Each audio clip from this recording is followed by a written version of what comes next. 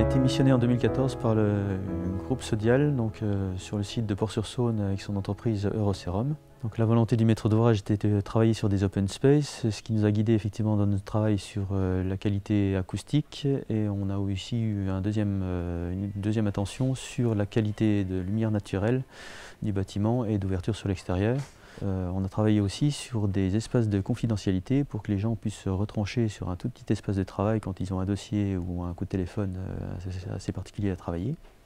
une proposition au maître d'ouvrage a été faite sur euh, restreindre quand même les open space pour qu'ils soient à taille humaine, tout en travaillant quand même sur une transparence intérieure du bâtiment pour que les champs visuels soient relativement ouverts aussi à l'intérieur les choix au niveau matériaux et systèmes constructifs sont portés sur plusieurs points sur ce bâtiment. Une euh, optimisation de délai de chantier qui nous a orienté plutôt vers une ossature euh, béton, système poteau-poutre avec un remplissage de façade en bois et un dernier niveau en ossature bois.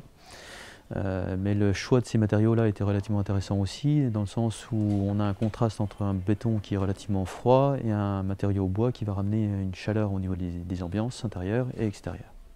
Eurocerum est implanté en Haute-Saône, à Port-sur-Saône, depuis 1974. Compte tenu du développement constant de l'entreprise, nous avons décidé en 2014 la construction d'un nouveau siège.